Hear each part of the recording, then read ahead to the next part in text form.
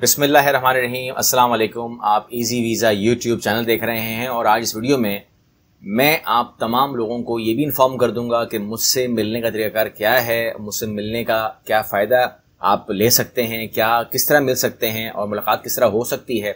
इसके अलावा जो आपके मोस्ट कॉमन क्वेश्चन हैं, जो जो हर वीडियो में ही होते हैं और एक सवाल को तकरीबन पचास लोग करते हैं और पचास कहते हैं वेरी गुड अच्छा सवाल है, मैं भी यही पूछने वाला था तो वो मैंने सब कंपाइल कर लिया है। उन तमाम बातों को, मिलने की बातों को, तरीक़ाकार को, चीज़ों को इस वीडियो में मैं डाल रहा हूँ ताकि आप लोगों को खूब अच्छी खासी इंफॉर्मेशन मिल जाए। कुछ शुरू में सवाल के जवाब हैं, वो पहले ले लीजिए ताकि मैं आपको फिर मेन बातों पर आ जाऊँ।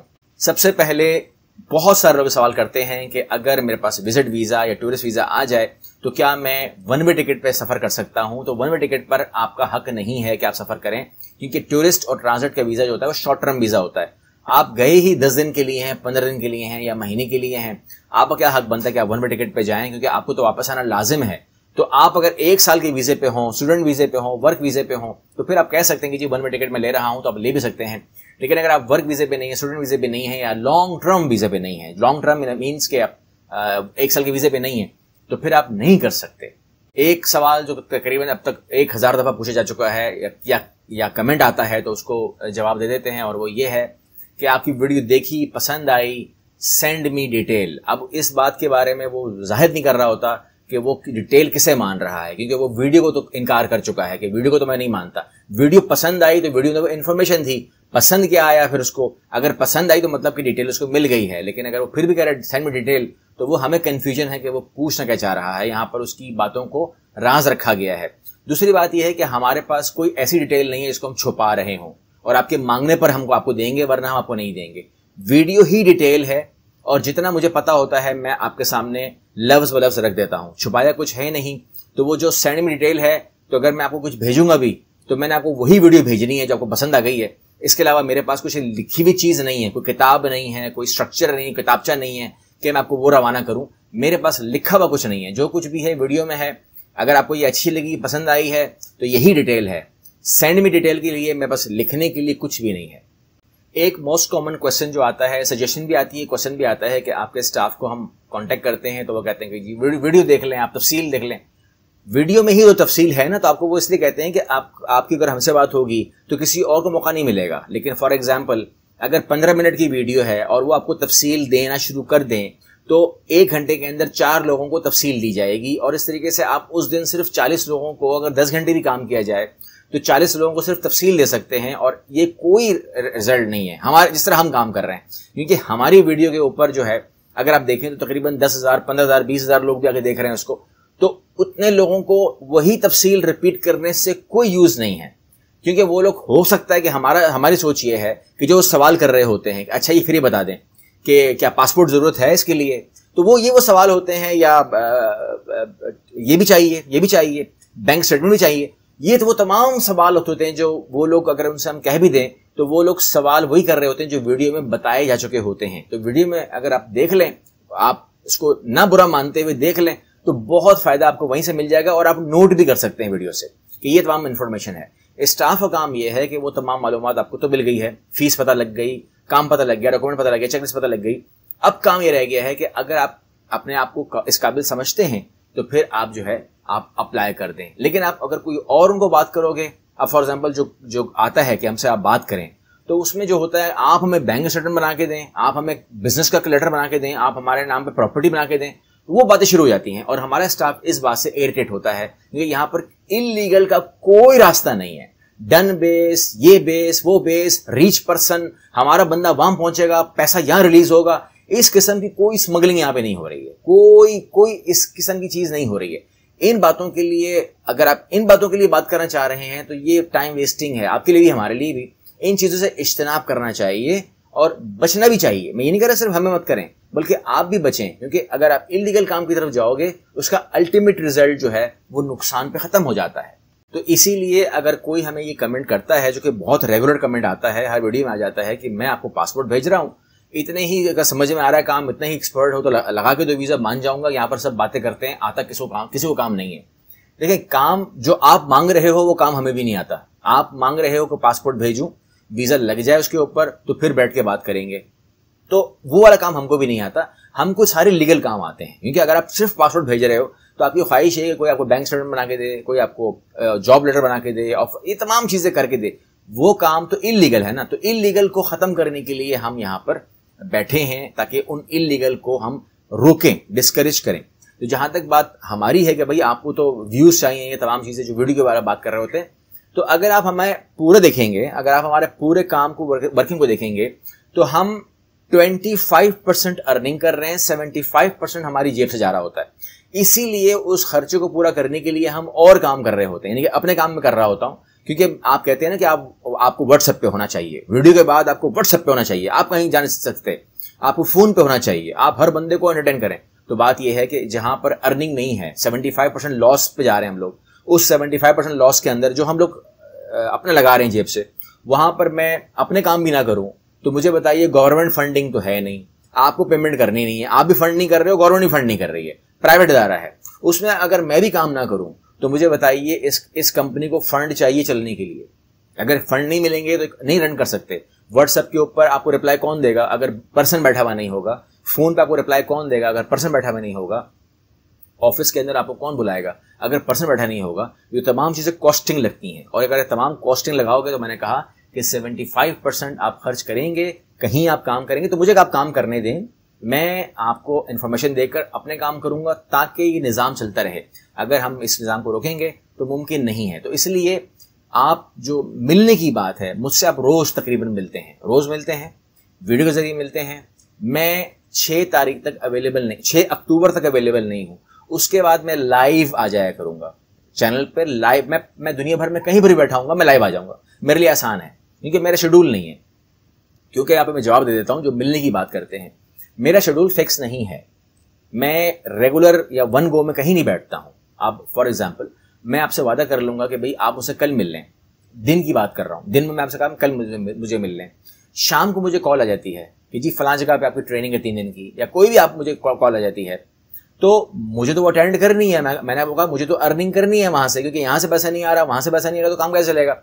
तो मैं तो रात को वो लेकर रात की कोई भी फ़्लाइट लेकर चला जाऊँगा तीन दिन के लिए। तो आप ऑफ़िस आ जाएँगे या आप फ़ोन करेंगे तो आपको बताया जाएगा कि जी वो तो साहब तो चले गए। तो ये हो रहा था पहले। तो उसके बाद आप बोलेंगे अभी कल तो मेरी बात हुई आज मुल्क में नहीं है। तो ये चीज़ जब तय होती है तो हमने इस सिस्टम को ख़त्म कर दिया है इसलिए आपको जवाब दे जाते हैं।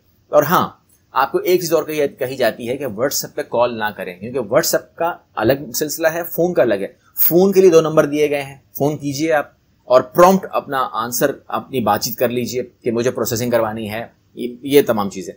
लेकिन अगर आप व्हाट्सएप की बात करेंगे तो आप अपना मैसेज ड्रॉप कर दें और फिर बर्दाश्त करें।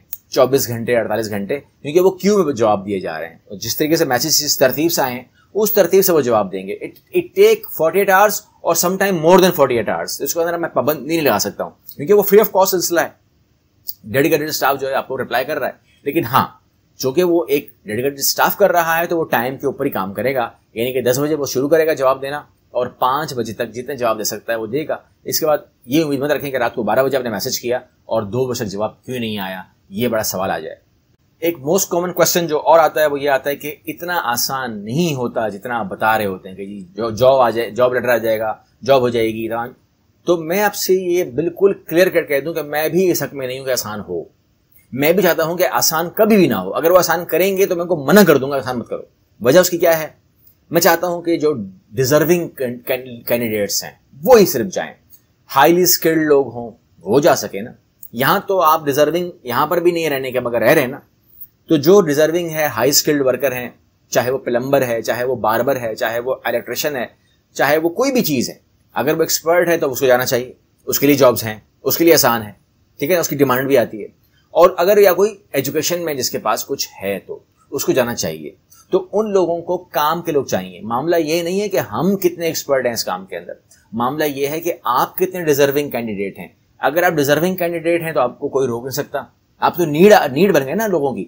लेकिन अगर आपके अंदर कुछ भी नहीं है तो फिर ये काम बहुत मुश्किल है। मतलब आपने सही कहा, बिल्कुल। ये बहुत मुश्किल है और फिर नहीं जा सकते। क्योंकि जो लोग कहते हैं ना वीज़ा नहीं लगता, वो वो तरतीब खराब कर देते हैं। यानी कि मैंने आपको पहले पहले भी कहा हुआ है कि वीज़ा नहीं लगता का ऐसा सवाल आता है कि मेरा तो वीज़ा कभी नहीं लगा। या इन्होंने कहा है कि स्पेन का वीज़ा लग जाएगा, मेरा तो नहीं लगा तो इसलिए झूठ है ये, सारा कुछ झूठ है, ये फ्रॉड है। तो वो एक आदमी की एग्ज़ाम्पल है। एक आदमी जिसने ये कहा कि नहीं लगेगा तो उसके बाद कम अज कम कोई एक के बाद छह मैसेज और आए उनका लग गया। ठीक है ना? मुझसे मुलाकात किए बगैर लग गया। ठीक है ना? हमारी ऑफ़िस की खिदमत के बगैर लग गया। तो बात यह है कि हमारे ऑफ़िस ने ना वो छह वीजे लगाए और ना एक का रिफ्यूज करवाया। दोनों केसेस में हम नहीं थे। दोनों केसेस में उन बंदों पर डिपेंड करता है। यानी कि जो सवाल आता है ना आपका, आजकल जर्मनी का रेशो क्या चल रहा है? जर्मनी का रेशो नहीं है। हमारा भी रेशो नहीं है। या कहते हैं ना, आपने कितने कनाडा के अप्लाई करवा दिए। हमारा रेशो नहीं है। मान लीजिए हमने सौ के अप्लाई किए होंगे, सौ के वीज़ा लग गए।